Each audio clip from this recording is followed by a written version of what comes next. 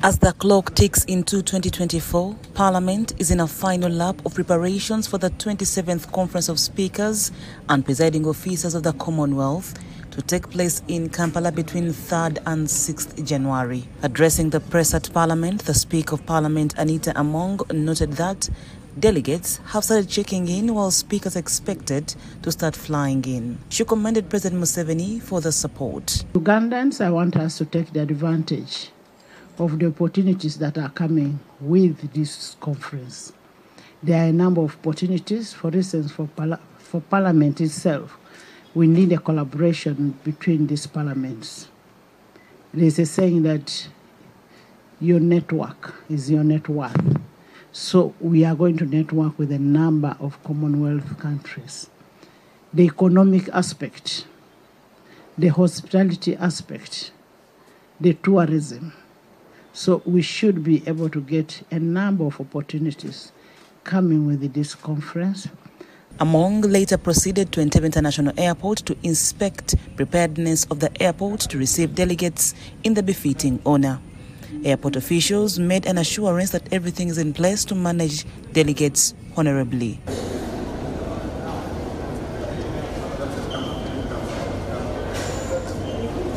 However, the Speaker was concerned with the slow progress of expansion works at the airport after learning that the new passenger terminal will not be available for use before 5th January. The terminal building there and bring this building out. What were we doing? We were solving two things.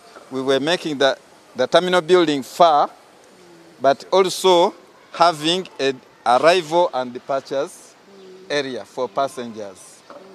Now, when the vehicles come from there, if a terrorist want to come and get into that building or this one, it becomes very, very difficult. Have and hand it over, then he takes over the management. But for the speakers, since we are receiving the speakers already, the speakers can pass the other side. Yes.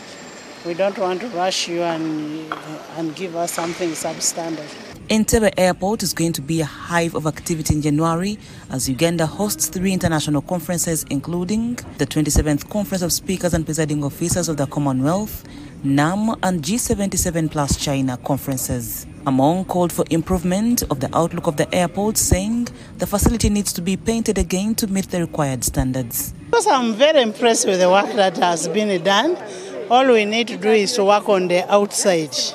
Inside is really nice. Engineer Ayub Soma, the Director, Airports and Aviation Security, urged Parliament to support the expansion plan of the airport that will enable Entebbe match to standards of other international airports. For your support for the second phase of the upgrade and expansion of Entebbe International Airport, such that it is turned into a competitive airport. Because before you start comparing whatever is in which country, first appreciate the problem I have with Ugandans is that they don't love their country talk good about your country, talk well about what you have. The bird you have in the hand is better than many that you have outside there. The Speaker also made a visit to Munyonyo Commonwealth Resort, which is going to host the 27th Conference of Speakers and Presiding Officers of the Commonwealth. The conference will bring together speakers of the parliamentary of countries and the Commonwealth to discuss a range of issues to do with democracy, health, climate change, among others. Report compiled by Fred Kajubi for the news.